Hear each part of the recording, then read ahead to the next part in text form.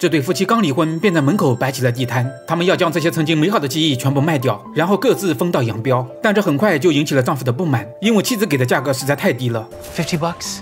I mean, we bought that thing on our honeymoon for six hundred dollars. 可妻子并不在意能卖多少，她只希望能尽快的将这些东西处理掉。这让一旁的丈夫非常的生气，因为如果都按这样的价格出手，就连隔壁卖冰水的邻居都比他们赚的要多。可妻子表示，他们卖的好只是因为天气热，而我们卖的都是一些破烂的二手货。听到这话，正在一旁玩水的儿子不乐意了，因为这里的每一件东西他都视若珍宝，他更不愿意看到父母就此分开。然而父母早已下定了决心，即便男孩再三恳求也无济于事。就这样，男孩只能独自一人来到马路边玩耍。就在这时，一个陌生男人走到他的跟前，询问他在干什么。男孩说自己在画全家福，因为他的父母马上就要分开了。他告诉面前的陌生人，他不愿看到他们分开。而此刻，另一边的父母正忙得不可开交，丝毫没有注意到路边的儿子已经不见了踪影。等到他们反应过来，已经为时已晚。他们赶赶紧拨打了求救电话。警员得到消息，迅速赶到了现场。男孩的父母快要急哭了，因为就在十分钟前，他们的儿子还在路边玩耍，可没想一转眼的功夫，他就没有了踪影。而今天门口来的都是一些陌生人，警员让他们不要担心，先去房子里检查一下是否在家里。可男人表示家里已经断了电，里面的温度起码有四十度，不太可能会在家里。就在这时，警员突然注意到旁边有一只掉落的鞋子，经过询问得知，这正是男孩的鞋子。警员立刻扒开旁边的柜子，发现男孩果然藏在里面。可由于里面太过闷热，男孩已经陷入了昏迷。由于时间紧迫，他们立刻将男孩放进了旁边的游泳池里。可由于里面的水也是热的，根本没法帮他降温。眼看他的脉搏越来越微弱，警员直接跑到隔壁抱走了他们的冰水，然后直接浇在了男孩身上。